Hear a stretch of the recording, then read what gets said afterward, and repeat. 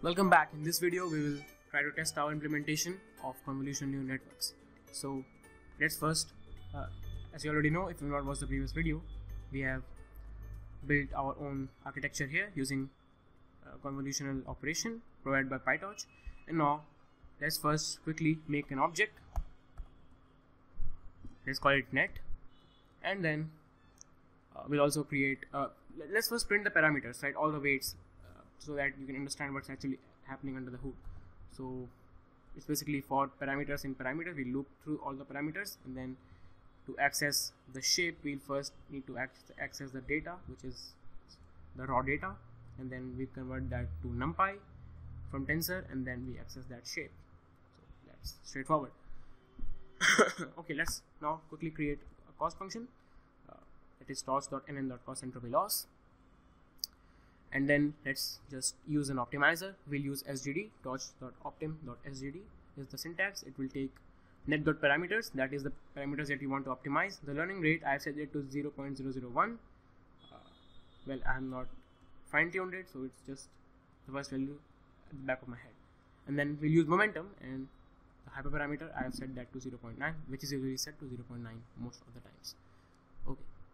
Now let's build train model. This function will train the model and it will take one argument that is epochs the number of times you want to run the uh, number of times you want to train the network number of iterations basically. First let's set the uh, network into training mode and to do that you just need net.train this will set the model to training mode. This is not uh, you know something that you have to do most of the times but it is recommended uh, by best PyTorch practitioners uh, that you need to set the model to train training mode before starting to train. Because some of the uh, functions such as max pooling function they they uh, perform differently when using when using in training mode as well as when using in evaluation mode. So whenever you calculate accuracy you will set that to evaluation mode. That can be set by using net.eval you can call that function. So okay so let's now uh, iterate through epochs. And then first let's calculate a list to uh, store the losses. And then let's create cumulative loss that is continuous loss. Okay so now let's loop for each of the batch in training set. So first let's enumerate it. So this for i and batch i will keep track of the number. And we will enumerate train sets starting from 0 okay so each batch contains the uh, data as well as the labels. So we extract that. We'll predict using network and passing the data. Then we'll calculate the loss using cost function. Then we will add the loss in c loss that is continuous loss. And we will divide it uh, well we'll, to access that loss we'll use loss.item which stores the loss itself. And then we'll first set the optimizer to zero grad so that it, previous gradients won't affect the next one and then we'll say optimizer dot step uh, sorry loss the backward and then optimizer dot step. And we will print the loss every hundredth time so we'll track every hundredth loss. So if i is divisible by 100 which for the first time it will be so let's leave that. It will print on zeroth iteration. So what we'll do is we will append this losses in this dictionary list and then we will print every thousandth time. Okay? And set the c loss to zero. Sorry. Now finally what we'll do is we'll calculate the accuracy. So we have not built this function yet so we'll build this after that. And we will also plot this loss uh, dictionary so that we can see the loss going down or going up wherever it goes. Right so the function is working fine our implementation is working fine the loss will go down. And you, we are using momentum so it will be kind of uh, zigzag but it should go down. So we'll plot losses and we will label the epoch the epoch number. So first time it will be 1 uh, 0 1 like that. And then let's just give it a legend which is basically uh, a label. And then after this the, all the epochs end we will just show that. Okay. I guess you got till here. Then let's implement this function called accuracy. So let's implement accuracy. And it will set first it will set the network to evaluation mode that is net.eval and then we'll say correct hits and total hits and accuracy to 0 then we'll loop through all the batches in test set. We'll predict them. And then we will uh, return uh, so we'll use that we'll use torch dot function uh, torch function torch dot max. It takes two arguments prediction dot data and we pass in one to say that it will return maximum as well as its index. But right now we don't need the maximum value. We just need its index to uh, compare it with this class name here. There are 10 classes so we just need the class which has the maximum probability not the index of the class which has maximum probability not the probability itself.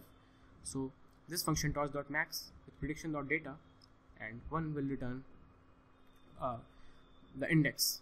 As well as the max but we will not save the max so that's why we are just discarding the max maximum value so we'll just in, uh, increment total by the size of this batch itself and then correct hits. Will be incremented. If prediction is equal equal to the output then all of those will be set to 1 otherwise it will be set to 0 and we will just sum all of them and then we will extract the raw data that is the item. Okay. Now calculate the accuracy is equal to it's just a simple formula that is correct hits divided by total number of hits into 100 and it will just print accuracy. Okay. let me just print accuracy.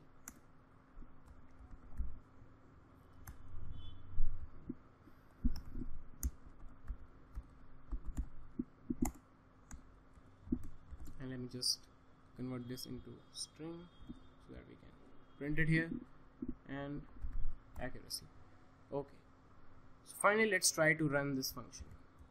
So I'll just set if name equals to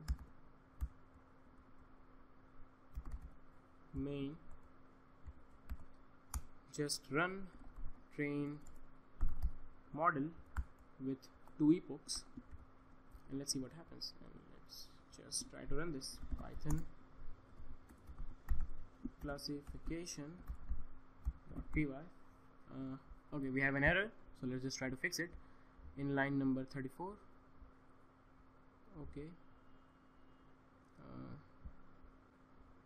oh we I don't know how this happened. Maybe I just deleted this so let me just make transform is equal to transforms dot compose. And then it will take I guess.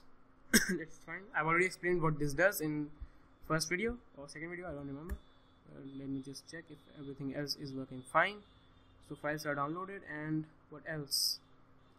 Slef is not defined. Maybe I've just used self but instead of that I've used slef and where is this? It is here.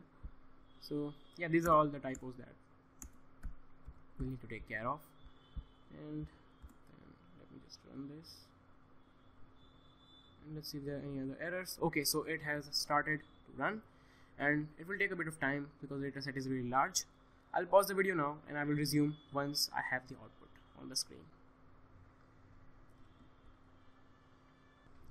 So here's the uh, output of the program. So as you can see first of all this is the figure and this is the loss. Uh, so first let me just show you the loss. So here as you printed here epoch number the batch and the continuous loss. So it goes on decreasing in both the epochs and then we'll see the loss. For the first epoch is you know just just look at the overall the, the average right? Just try to ignore this uh, zigzag kind of uh, pattern but if you just look at the overall uh, trend here what ha what's happening is the loss is coming down in the first epoch and it is dramatically coming down for the second epoch. So if you can uh, compare the same batch for the first and second you can see the there's massive difference here right? There there is a lot of difference here. So if you cannot see let me just try to show you this you know? Here you have if you just compare the loss here and here this is a massive difference. And the same goes for here. It, it has peaked somewhere around here. And here you have this lower loss. And it continues throughout this patch as you can see. This line let me just show you this is the lowest cost line for the second epoch which is epoch number one. And this is the lowest cost line baseline uh, oh sorry here. This line somewhere here is the lowest. So as you can see the best case has also improved and of course worst case has not improved but you, we, we always try to focus on what's the average case not the best or the worst and which as you can see has decreased a lot. So this is it. Now of course our accuracy is not that great but actually 51% is not that bad for some you know uh, like a shitty model here. So it's it's not something that uh, you just you can just throw it away. It, it is a nice model but there are better models. Of course models which reach more than um, accuracy of more than 90 95 percent which are trained on multiple gpus and stuff. But this is the building block of all those models using convolutions pooling properly. So i hope you have understood how to use convolutions and where to use convolutions. So in the next video maybe i'll talk about saving this model. So training convolution is really a hectic process. It's a long process. So so you cannot just uh, train for for months on end. So you just need to save the check you, need, you just need to have a checkpoint so that you can resume from there. If we start this program it will again start training from zero from zero iteration. So we need to have some way to save it here so that we can uh, sorry for the noise by the way. So we need to save this so that for the next time we start from there. So PyTorch does provide that functionality and we will look at uh, how to save our models in the next video. Thanks for watching and stay tuned for the next